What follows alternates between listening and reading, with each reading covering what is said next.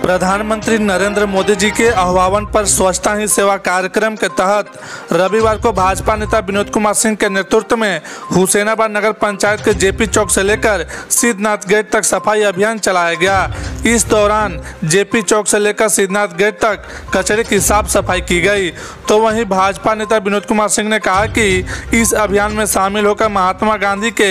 स्वच्छ भारत के सपने को साकार करने के लिए अपना बहुमूल्य योगदान दें मौके पे भाजपा नेता रविंद्र सिंह राम परवेश सिंह उदय विश्वकर्मा श्रवण अग्रवाल अजय गुप्ता अखिलेश मेहता वरुण सिंह प्रभात सिंह ओम सिंह सहित सैकड़ों की संख्या में भाजपा कार्यकर्ता मौजूद थे